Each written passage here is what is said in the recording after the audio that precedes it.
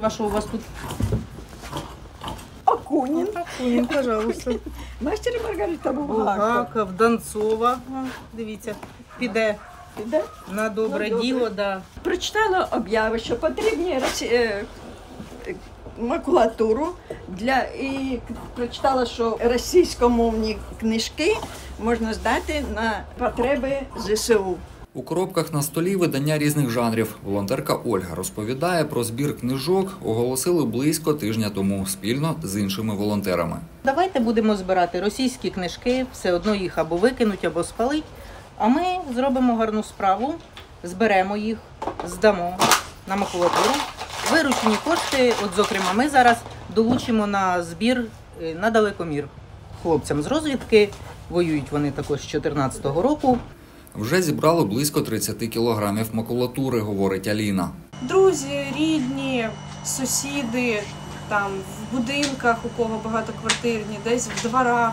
Тобто, ну хтось десь побачив інформацію на сторінках. Дуже класно працює сарафанне радіо. Тобто, десь хтось почув, комусь сказав.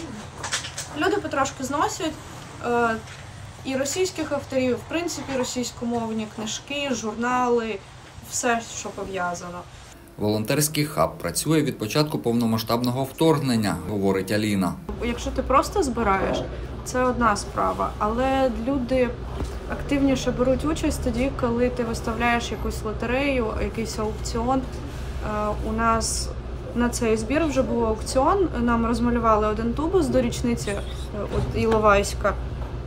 Він був тематичний з соняхами, які асоціюються з Іловайськом, з написом. І до То- того, що розмалював боєць. боєць, да, який зараз знаходиться на реабілітації, то ми за нього вилучили 6 тисяч, і вони пішли знову ж таки на збір. Також волонтери збирають пластик, алюмінієві банки, плівку, які з хабу забирають приймальники вторсировини, говорить Ольга. На дальномір за 17 днів зібрали 33 тисячі 780 з потрібних 54 200 гривень. Олександр Гордієнко, Суспільне новини Миколаїв.